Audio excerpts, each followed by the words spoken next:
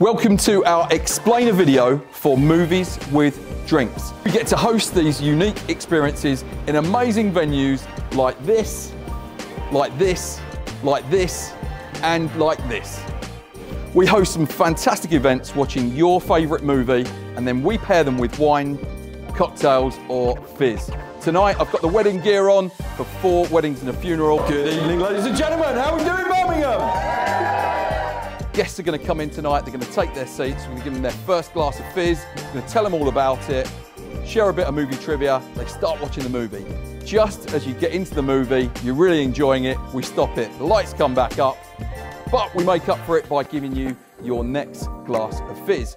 Share a bit more movie trivia, have a bit of fun, and you keep watching the movie. Throughout tonight's movie, we're going to serve five glasses of fizz. It's a proper wine tasting, but it's a really unique way of taking one of your favourite movies and making it a really special experience.